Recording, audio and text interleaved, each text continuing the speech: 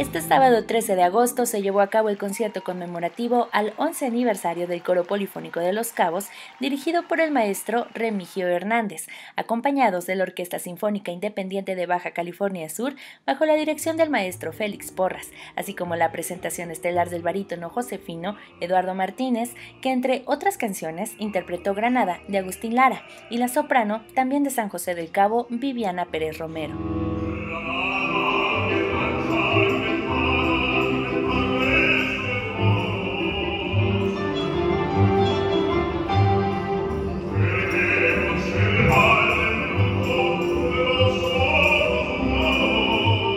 Durante esta tarde se abrieron las puertas del pabellón cultural de Los Cabos para recibir al público ansioso por disfrutar de la buena música y el espectáculo de los bailarines de Fábula Danza, quienes brindaron a los espectadores una muestra de su gran talento.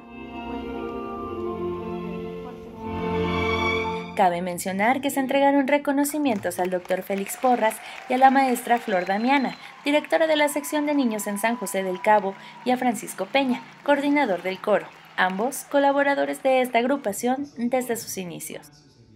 Antes de concluir, los solistas y el resto del elenco, incluyendo coro y orquesta, interpretaron de forma extraordinaria el brindis de la ópera de la Traviata de Giuseppe Verdi.